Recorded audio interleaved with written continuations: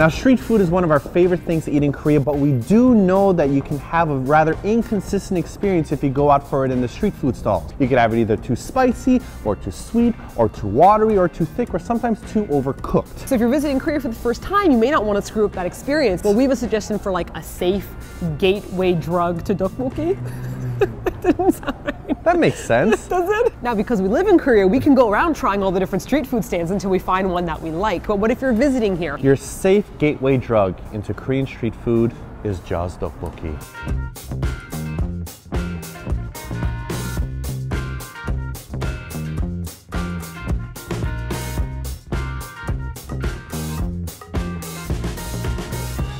The worst part about filming these videos is having all the food waft up into my nostrils and I have to explain it instead of eating it. Essentially, we got one of almost everything on the menu. We got tteokbokki, which is a very spicy one here, which I like a lot, and it's very thick broth. Odeng, or the omok, which is the fish cakes.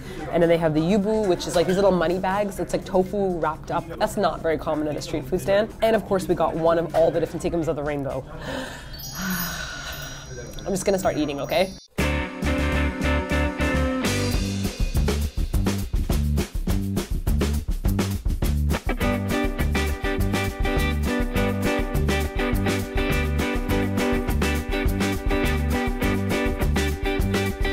Now the reason why we love the tteokbokki here, the sauce is always consistent. It's thick without being cakey, it's not thin and soupy, has a nice amount of spice, not too much that you're gonna die, but just enough to give you a nice burn.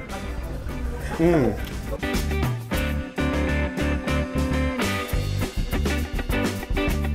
And the tteok is cooked just right enough, not to be too soggy, still give a good little bit of a bite back.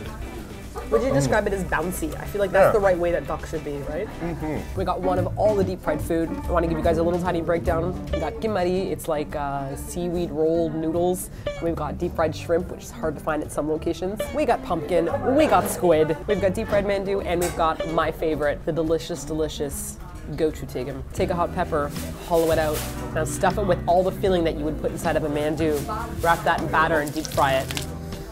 Ooh. I just had a realization. This reminds me of Croatian stuffed peppers. Ooh. Whoa. Now you might notice that Martina and I aren't sitting in the same frame here. That's because Jaws Tteokbokki has really small tables that are really, really tight. So if you're eating with a friend, I suggest this strategy. You sit in the booth, have your friend sit on the outside, and then ask them to get water. Whenever they get water, you can eat more stuff around here. Need this much water. This is like my fourth glass. Martina keeps on going, I keep on eating. This is the strategy for surviving, all right? Remember that. Don't let your friends watch this video. I'm gonna go get water and take all the chopsticks with me and take all the everything. You're still eating! Remember what I taught you. Remember.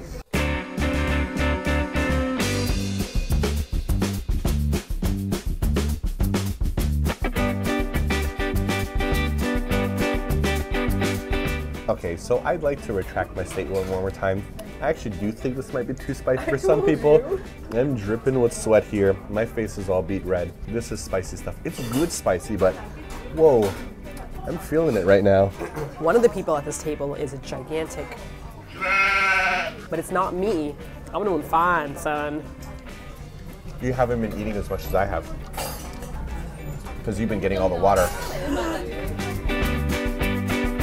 Now these money bags are not really something you're gonna find on the street food stands. You will find the odeng, like the omok will be there, but this won't. Now the outside of it's actually tofu and it's stuffed on the inside with like the same kind of sweet potato-y chapchae noodles that you get with chapchae. I guess that's obviously what a chapchae noodle would be. But it's got little tiny pieces of surprise meat, so it's not actually vegetarian friendly. Everything's probably made with like a fish sauce, so I, I wouldn't. I should show people how to make tteokbokki.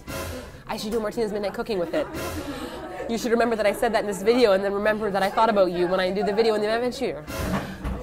So I hope that we've encouraged some of you who are afraid to try street food to give it a shot here. And then after that, once you get a taste for it, you can find which street food stand is your favorite. Mm-hmm. I mean, yeah. we've had good street food, but like Buchon is like right up there with like the best I've ever had. Best I've ever had. And that song? What song is that? Yeah. Some people then. Because that's a ever had. Best I've ever Yeah. had. No? Yeah. Isn't that a the song? best and the best I've ever had. Yeah. Is that a real song? No. Oh. Literally not even close to being a real song. You made it sound so convincing. I'm so good at the musics. Mm. Simon can't handle spicy food. How dare you? I'm really good at spicy food. You cry like a baby.